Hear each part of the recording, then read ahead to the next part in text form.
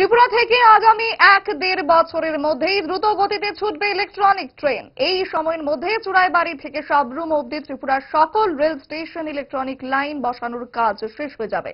ভারত সরকার ও রেল মন্ত্রকের টার্গেট হচ্ছে লামডিং থেকে বরাক উপত্যকা ও ত্রিপুরায় একসাথে ইলেকট্রনিক ট্রেন চালু করা।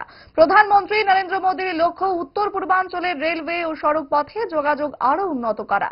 এলএনটি কোম্পানি ইলেকট্রনিক লাইন বসানোর কাজে বরাত পেয়েছে। এই কোম্পানি থেকে ছোট ছোট কাজের দায়িত্ব নিয়ে কাজ করছেন এমন একজন ঠিকাদার জানিয়েছেন বরাক উপত্যকায় পঁচানব্বই ভাগ কাজ শেষ হয়ে গেছে।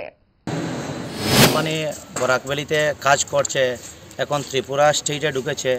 খুব শীঘ্রই মানে বরাকভ্যালির প্রায় হান্ড্রেড পার্সেন্ট প্রায় নাইনটি ফাইভ পার্সেন্ট কমপ্লিট হয়েছে। ত্রিপুরাতে স্টার্ট করেছে, খুব শীঘ্রই মানে ছয় সাত মাসের ভিতরে ত্রিপুরা স্টেটটা পুরো কমপ্লিট হয়ে যাবে আর এলএনটি খুব ফাস্ট কাজ করছে। এই জন্য এলএনটি কোম্পানিকে আমরা কন্ট্রাক্টর হিসাবে ইলেকট্রিক কোম্পানিকে আমরা আমাদের অন্তরে অন্তঃস্থল থেকে অসংখ্য ধন্যবাদ দিচ্ছি। খুব ভালো কাজ হচ্ছে। আর আমরা নর্থ ইস্টবাসী মানে নর্থ ইস্ট বলতে নর্থ ইস্টের মানে বরাকবেলি বলব বা ত্রিপুরা বলব। উত্তর পূর্বাঞ্চলের মানে আমার মনে হয় উত্তর পূর্বাঞ্চলে ত্রিপুরা স্টেট আর আসামের হলো গিয়া বরাকবেলি। বা লামডিং থেকে এদিকে মানে ইলেকট্রিক কারেন্ট কোনো চালু হয়নি। এই জন্য খুব শীঘ্রই মানে এলএনটি কোম্পানি কাজ নিয়েছে খুব শীঘ্রই মানে আরম্ভ হবে। করা যায়। আমার মনে হয় এক বছর বা দেড় বছর এর ভিতরে ট্রেন চলবে।